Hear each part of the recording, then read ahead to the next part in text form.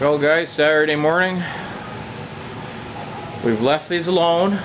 As Scott put it, you're tempted to pet it, but you gotta walk away like it's a first date. No petting. So it's been a week now. Can I pet it, Scott? Yeah. There's your Blitz Black.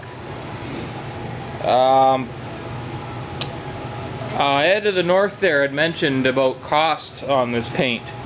That it wasn't really that economical compared to other enamels, but uh, the reason for it is the actual appearance. It not so. I know you can go. There's cheaper enamels out there, but the finish and the color. It's just that it's not a flat black. It's not a gloss black.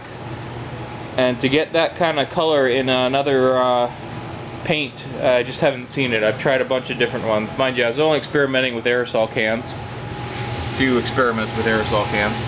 But uh, I really like it. Heck, it's a John Deere.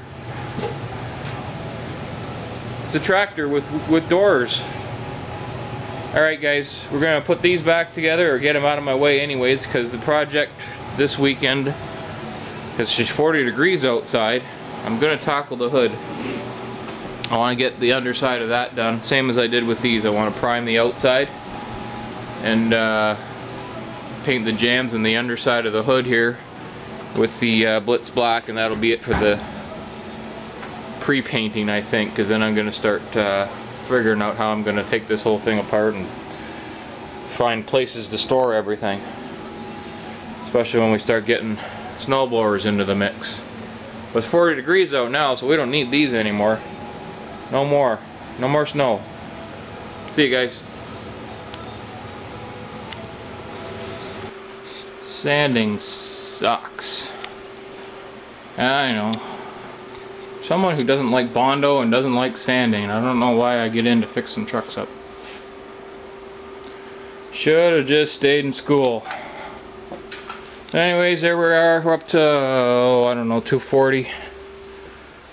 Uh, we're going to give this all a shot of primer. I got the inside of the hood to 240 as well. All up underneath all the edges. Uh, so we can paint that. We'll show some primer on, throw some primer on that. I've got to uh, rebag though, I think I've, if I do any more painting in this area. Anyways, that's where we're at guys. Oh, I'm tired. It's hot in here. This light alone throws more heat than my wood stove, I think. But it sure as heck doesn't leave any room for imperfections. You can see every little scratch and divot when you got a light like that shining on your work. Alright, that's enough. Stop yapping. Start working. See ya.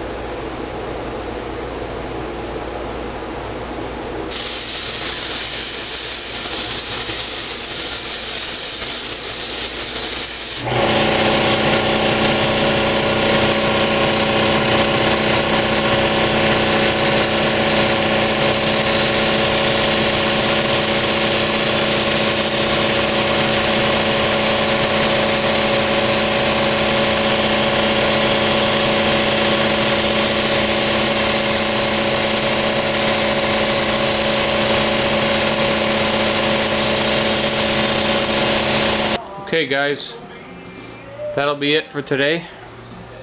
I'll get this uploaded. So we've got something to take a look at tonight and talk about and whatever else it is we do. I'm going to be going out tonight so I don't know if I'll be up early tomorrow or not. But uh, that's that. And we shall be seeing you tomorrow. I will uh, fire this up again in the morning and uh, get the uh, underside of the hood done because I'm kind of hoping that that's going to be my end point here I don't know how much longer I'm going to get this uh, nice weather, but as long as I've got it, I'm going to keep going. And then uh, maybe in uh, March, we might be ready to get this thing uh, finished off. We got a couple more weekends like this. See you guys. Have a good weekend.